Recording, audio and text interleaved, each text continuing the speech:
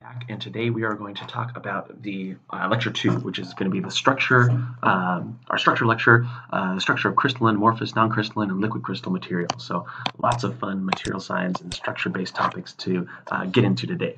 So uh, we are going to talk about crystalline materials amorphous materials liquid crystals uh, short range order which we're going to abbreviate as SRO long range order LRO um, but first we want to start and study with the most simple case, the most ideal case, which is that of a perfect crystalline material. Now, do we ever have a perfect crystal? No, definitely not. um, uh, virtually never. Well, okay, maybe at 0K, but even then, still probably not actually. Um, there's always going to be defects in a material. So you're never going to have kind of this perfect long range and short range translational order, this perfect lattice, this kind of idealized scenario that we're going to kind of start off with. But the reason that we start off with this is the crystalline materials are the most ideal case. They're the easiest to study.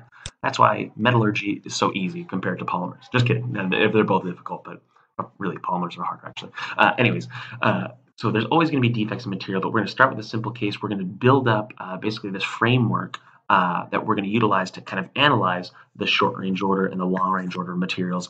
Then uh, we'll kind of deal with the deviations, deal with the defects, deal with some different scenarios as they uh, come.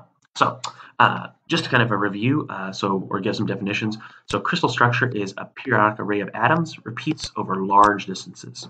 Um, so there's both long-range periodic order, both translationally.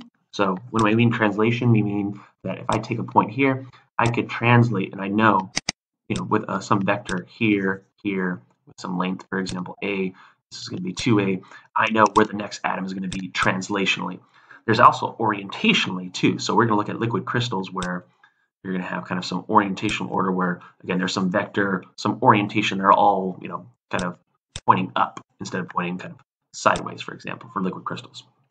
So a crystal structure will typically have, again, both long-range translational and orientational order. So long-range translational order, long, excuse me, long range orientational order, LRTO, LROO. So uh, in addition to SRO, all materials will have some degree of short range order. Why?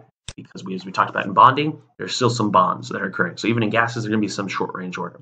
Um, so, but before we run off and we kind of start to analyze crystal structures, specifically BCC, FCC, simple cubic, all our favorite uh, atomic packing factors, everything else. We need to kind of start off with, again, a framework. So we need to define a primitive lattice, lattice constants, interaction angles, symmetries, point groups, Bravais lattices. Are you ready? All right, let's get into it and let's get into uh, a very, very important uh, lecture, which is structure, because why? Material structure. So I'll see you all in the next video.